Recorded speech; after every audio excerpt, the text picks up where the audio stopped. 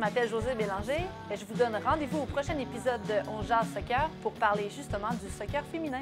À bientôt!